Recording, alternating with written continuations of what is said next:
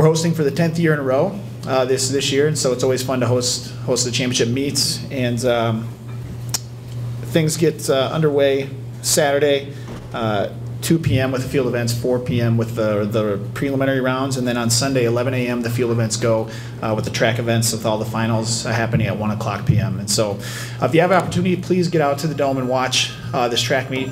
Uh, we have some really outstanding athletes on our team uh, that have, have done some things and in program history that have never been done before, but also uh, I was just looking at the list overall before I got here. There are six athletes ranked in the top 10 nationally uh, in the Missouri Valley Conference and 11 top uh, 30 performances at the meet. So you're going to see some of the best athletes, uh, not only in our program, but also some of the best athletes in the country uh, in the Dome competing uh, this weekend. The, uh, the, pre- the pre-championship poll just came out, and they had Wichita State picked to win both the men's and the women's title.